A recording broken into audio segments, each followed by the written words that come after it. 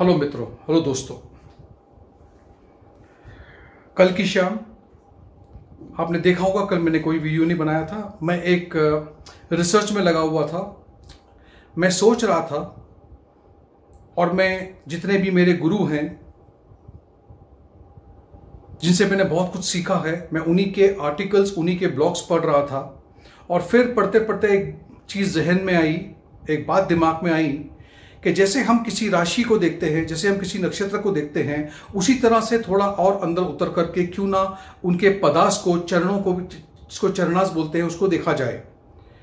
तो जैसे कि आपको सबको पता है, ये वीडियो मैं बना रहा हूँ कोरोना वायरस पे, कोविड नाइन्टीन पे, और मैं थोड़ा सा नक्षत्र के अंदर उतरने की कोशिश कर रहा हूँ।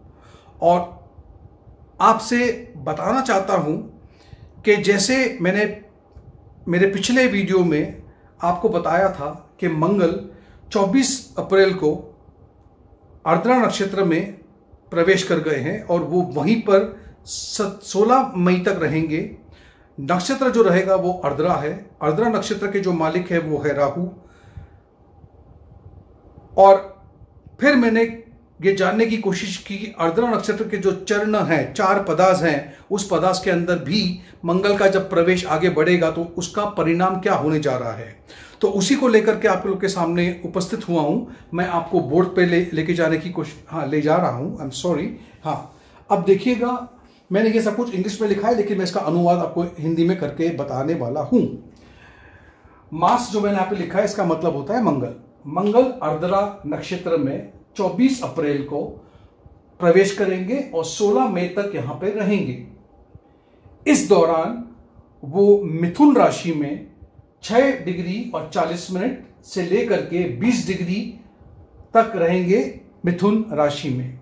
मिथुन राशि में जो अर्द्रा नक्षत्र है, उसके चार पदा है। एक, दो, तीन, चार। चारों ही पदा, जैसे आपको पता है, इसको जो रूल करते हैं, वो है राहु। आप देखोगे डेट 24 तारीख को 6 डिग्री 40 मिनट पे जब इन्होंने प्रवेश किया था, मंगल ने प्रवेश किया था तो तारीख थी 24 अप्रैल और वो इसी जगह पे रहेंगे 30 अप्रैल तक, जो कि डेट निकल चुकी है, जब मैं ये वीडियो बना रहा हूँ। इस वक्त जो राशि प्रभावित हो रही थी, वो थी धनु, यानी कि इंग्लिश में कहते हैं सजिटेरियस और जो ग्रह थे, वो थे गुरु।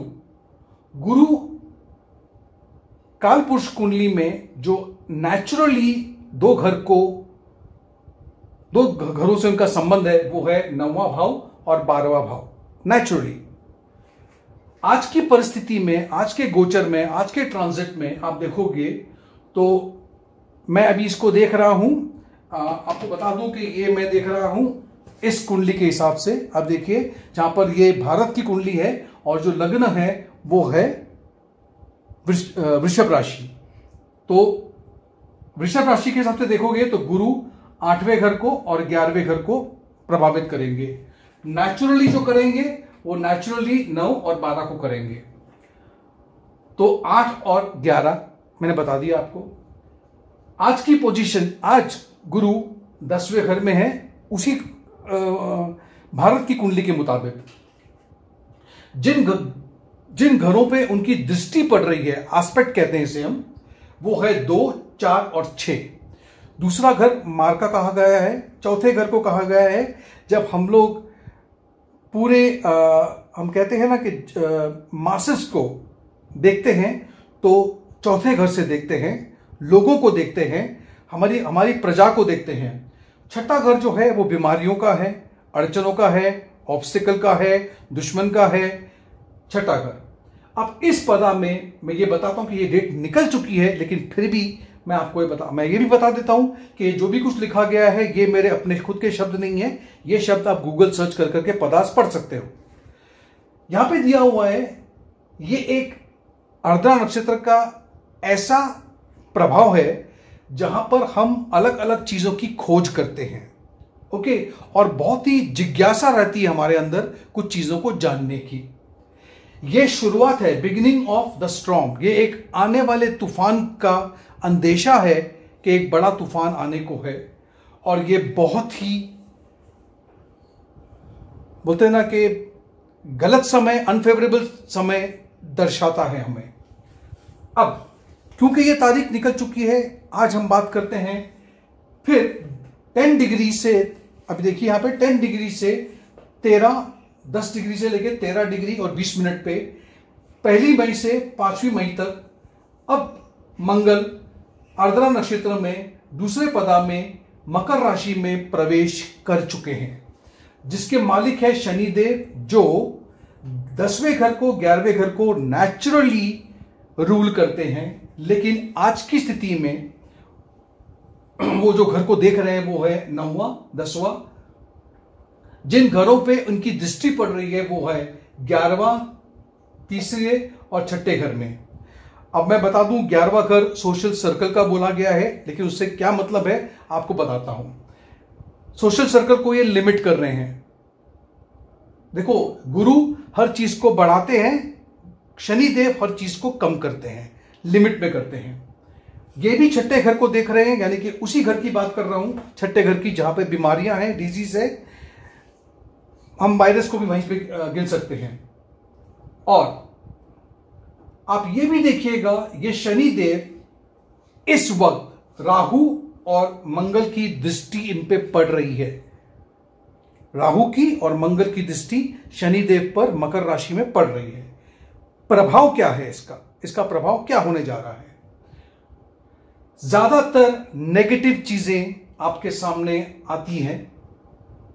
बहुत नेगेटिव चीज़ें आपको दिखेंगी। मतलब एक मई से लेके पाँच मई तक मैं नेगेटिव चीज़ देख रहा हूँ। और जितनी भी मटेरियल चीज़ें हैं, जैसे कि मटेरियल चीज़ें हम जिन जिन चीज़ों की इच्छाएँ रखती है, पैसा औदा शोहरत, दौलत, वो चीज़ें, उसको उसको शनिदेव डेफिनेटली कंट्रोल कर लेंगे लिमिट कर लेंगे, और जिससे हमारे अंदर फ्रस्ट्रेशन आ जाएगा, गुस्सा आ जाएगा एग्रेशन बढ़ जाएगा, ये फ्रस्ट्रेशन बिल्टअप करेगा। एक से लेके पाँच मई तक। अब क्या होगा? अब याद रखना, यहाँ पर एक बात है, जैसे कि यहाँ पे धनु राशि है, फिर मकर राशि है, फिर वापस से कुंभ राशि है। कुंभ राशि भी शनिदेव की राशि ही है, और उसके बाद में जो मीन राशि है, वो भी गुरु की राशि है। तो ये जो दो चीज़ें मैंने लिखी है, वो सेम चीज़ यहाँ पे रिपीट हो जाएगी। यानी कि ये यहाँ पे आ जाएगा और ये यहाँ पे आ जाएगा। तो हम बात करते हैं कि कुंभ राशि में, यानी कि छह मई से लेके ग्यारह तक, छह मई से लेकर के ग्यारह तक क्या होने जा रहा है?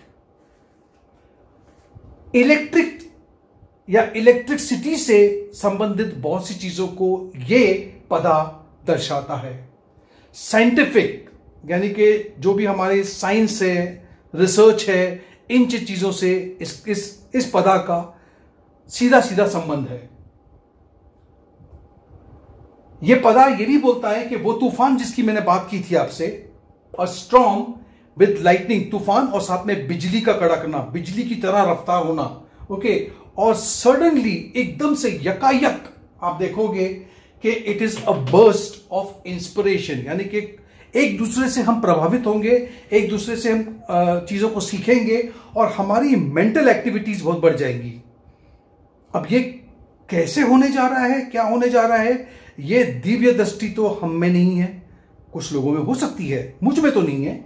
हम देखेंगे कि ये बर्स्ट ऑफ़ इंस्पिरेशन और मेंटल एक्टिविटीज़ क्या है।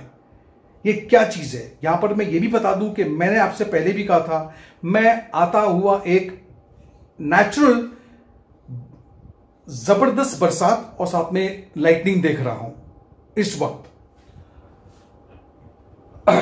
आपको एक बात मैं और बता दूँ। अब आते हैं हम लोग जब 11 मई की तारीख होगी और 16 मई तक मंगल इसी अर्द्रा नक्षत्र में बिल्कुल आखिरी छोर पे पहुँच चुके होंगे और वो पुनर्वासु की तरफ़ भ्रमण कर रहे हैं। लेकिन 11 मई और 16 मई के बीच में क्या होने जा रहा है? आप देखिए यहाँ पे।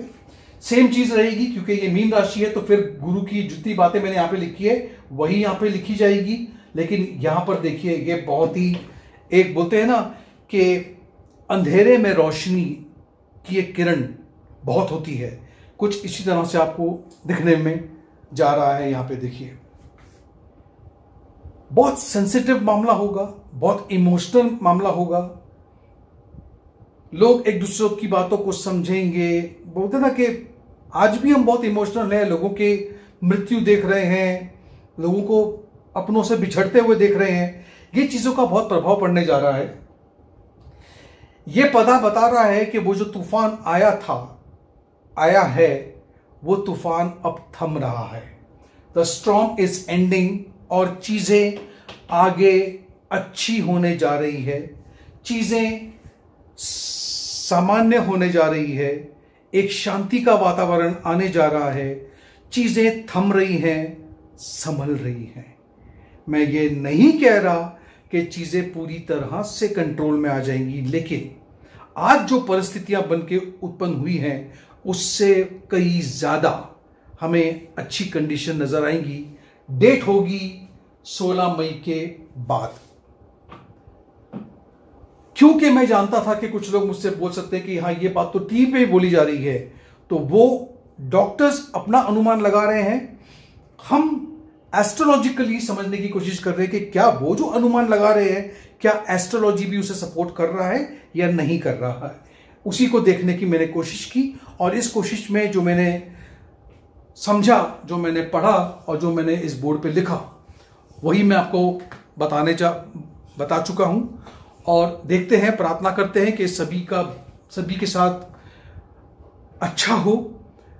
इस वक्त, ये वक्त ऐसा है जहाँ पर मैं आप लोगों से गुजारिश करूँगा कि प्लीज़ अपने ही घर में बने रहें, अपने मित्रों के साथ, दोस्तों के साथ, अपने परिवार के साथ में रहें। जब तक आवश्यकता ना हो, ज़रूरत ना हो तो जितनी भी हमारे पास रिसोर्सेस हैं घर में, बने रहिए। इस, ये वक्त नहीं है कि हम किसी एक दूसरे को ब्लेम करें, चाहे वो गवर्नमेंट हो, चाहे वो कोई भी हो, या वो जिस तरह के भी हालात हो। ये ग्ले ये ब्लेम गेम से हमारा काम नहीं होने जा रहा। हमें ऊपर वाले से हाथ जोड़ के प्रार्थना करनी है। कहीं ना कहीं हमसे गलती ज़रूर हुई है। हमने बहुत ज़िंदगी को बहुत आसान समझ लिया था। इतना आसान है नहीं। ऊपर वाला हमेशा बताना, बताने की कोशिश हमें हमेशा करता है अलग अलग माध्यम से कि वो सबसे बलवान है। हमारे हाथ में कुछ नहीं है। हम कितने भी आगे चले जाएँ टेक्नोलॉजी में साइंस में, वो हमसे हमेशा चार कदम आगे ही रहेगा। हमें ये समझना चाहिए। Thank you so much